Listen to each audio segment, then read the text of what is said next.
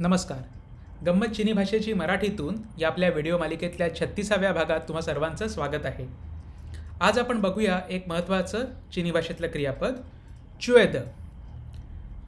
तुला काय वाटतं मला असं वाटतं की अशा प्रकारची वाक्य चिनी भाषेत बोलण्यासाठी आपण चुएद हे क्रियापद वापरणार आहोत. आणि साधारण असाच अर्थ असणारं श्यांग हे क्रियापद हे आपण बघितलं होतं.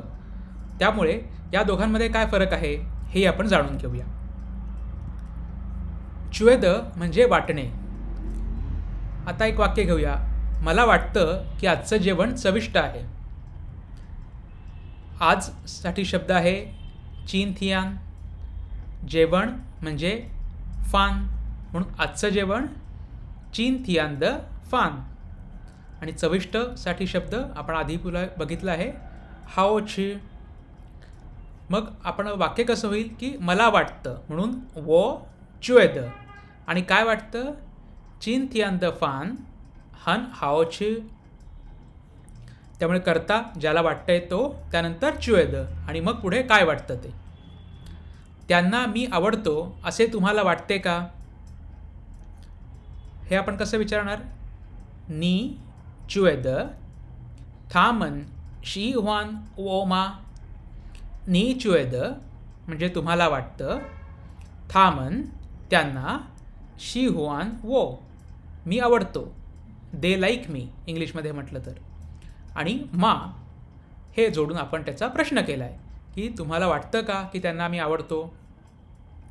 हे पुस्तक कसं आहे असं तुला वाटतं? तर जेव्हा आपल्याला मॅन्डरीनमध्ये कसं आहे हे विचारायचं असेल तेव्हा आपण जन्म यांग जन्म यांग या वाक्प्रचाराचा उपयोग करतो. जन्म यांग कसं आहे कशा प्रकारचं आहे? यांग या शब्दाचा अर्थ आहे प्रकार. जन्म यांग म्हणजे कशा प्रकारचं? कसं आहे? तुला कसं वाटतंय? त्यामुळे वाक्य होईल निई चुएद तुला वाटतं च बनशू च च बनशू हे पुस्तक जन्मयांग कशा प्रकारचं आहे कसं आहे? तुला तिच्याबद्दल काय वाटतं? नी चुएद था जन्मयांग ती कशी आहे असं तुला वाटतं? तिचा स्वभाव कसा आहे असं तुला वाटतं? ती कशा प्रकारची व्यक्ती आहे असं तुला वाटतं? असा या वाक्याचा अर्थ होईल. नी द था जन्म यांग. अजून काही वाक्य बघूया. माझ्या मुलांबद्दल तुम्हाला काय वाटते? नी चुएद वो द हायझ मन दो जन्मयांग वो द हायझमन. हायझ म्हणजे मुलगा आणि हायझमन म्हणजे मुलं. वो द हायझमन माझी मुलं. दो हा शब्द आपण मागच्या वेळी बघितला होता की सगळे या अर्थी वापरतो. तर माझी सगळी मुलं कशी आहेत असं तुम्हाला वाटतं? जन्म यांग.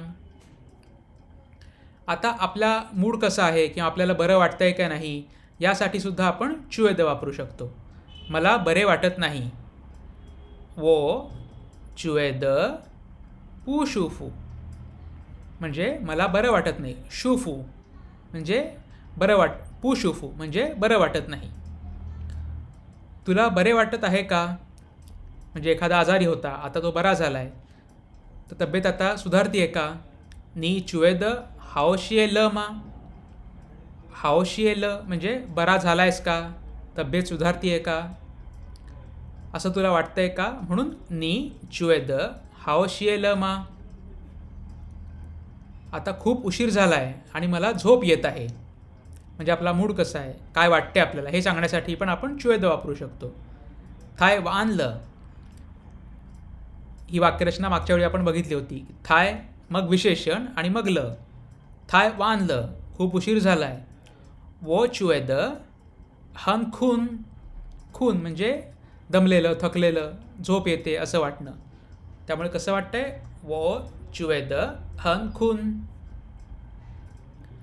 आता दुसरा एक शब्द आहे शांग ज्याचा इंग्लिशमध्ये भाषांतर होतं थिंक आणि चुएदचे भाषांतर होतं थिंक त्यामुळे बऱ्याच वेळा चुएद आणि शांक यामध्ये लोकांचा गोंधळ होऊ शकतो. पण जर हे आपण मराठीत लक्षात ठेवलं तर आपल्याला अजिबात हा गोंधळ होणार नाही. श्यांगचा अर्थ होतो विचार करणे किंवा एखाद्याची आठवण येणे टू मिस समवन किंवा इच्छा असणे आणि मराठीत च्युएदचा अर्थ वाटणे. त्यामुळे जर ही वाक्य तुम्ही मराठीत बघितली तर तुम्हाला कळेल की शांग हे पूर्णपणे वेगळं आहे आणि च्युएद हे पूर्णपणे वेगळं आहे. श्यांग ही श्यांग म्हणजे जरा विचार करा. तुम्ही एखादी गोष्ट एखाद्याला सांगितलीत आणि जरा ह्याच्यावर विचार करून बघ हे तुला काय कसं वाटतं आहे तेव्हा तुम्ही म्हणणार श्यांग ही शांग.